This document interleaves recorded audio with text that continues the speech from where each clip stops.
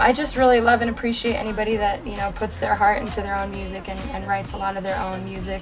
I love personally just writing stuff that kind of ties into what I'm going through every day.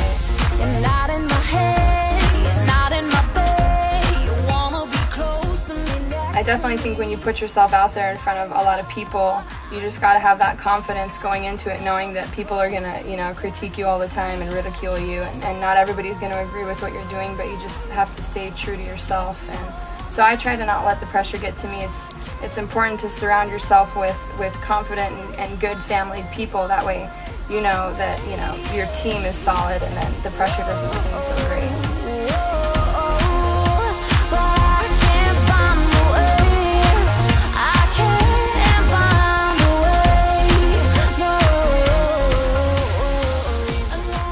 I do write my own music.